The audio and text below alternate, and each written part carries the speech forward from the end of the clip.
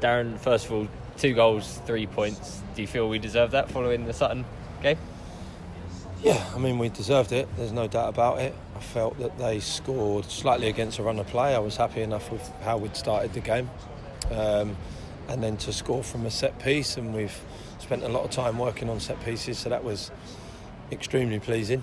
Um, a well worked corner that obviously we've uh, we've scored from, got us back in the game, which I think, you know, on reflection, maybe fair going in at half time.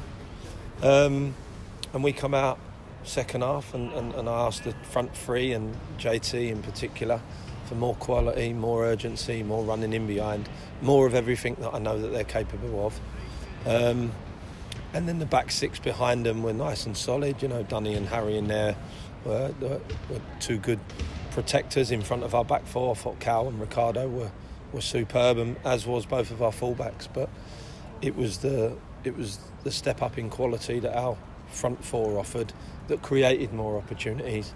And then thankfully Simeon's got on the end of a clever through ball from JT, and he's he's finished brilliantly. So you know, it's it's pleasing and, and certainly what I felt we deserved. How impressed were you with the reactions going 1 0 down? Because we didn't get away with ourselves and we got ourselves back in the game. I don't know that there was a reaction as such. It was it was more we just continued to do what we was doing. Um, I felt like we would get back in the game because we was I wouldn't say dominant, but we was the I felt we was the better side. You know, again they've they've scored a stunning goal. Um, that we could have done better against. You know, we, we talk about, you know, he's right footed, so the obvious is to show the boy on the outside, um, but we showed him inside. And is it a goal that, you know, he might not score that again in his career? He might get another one or two over the next 500 games, but it was a stunning goal that gave them the lead. And we just continued to do what we was doing, and we handled the ball well and got to the final third well.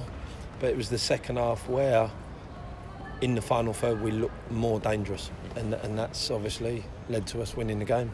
I was going to ask you if you're a star man, but to be honest, there were so many performances to shout about out there. Ricardo Santos, Callum Reynolds at the back, Harry Taylor and James Dunne in the middle. It, it's sort of becoming a common theme where we're putting in these really good team performances this year. Well, it is team, isn't it? It is team. You know, it's got to be team. Um, it's team us, team everyone, team Barnet.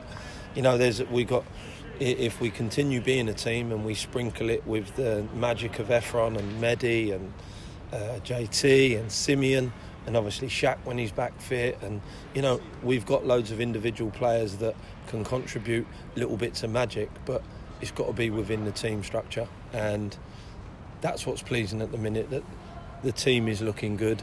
And I'm hoping we only just get better because we've got we had a strong bench today and we've got some good players sitting in the stand as well, and we've got one or two that are edging closer to getting back into training. So, as a group, we're looking strong.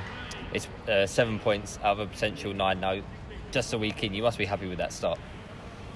Yeah, I mean, listen, if, if someone had offered me seven at the in pre-season on the back of playing two teams that have been relegated and and Sutton that are obviously on a difficult pitch, then yeah, of course I'd have taken seven there's always going to be a little bit of me that's a bit greedy, and I think we should be sitting on nine because should have beat Sutton on Tuesday night. But like I say, if someone offers me seven, I'll be happy enough to take that, and it gives us a nice platform to build from.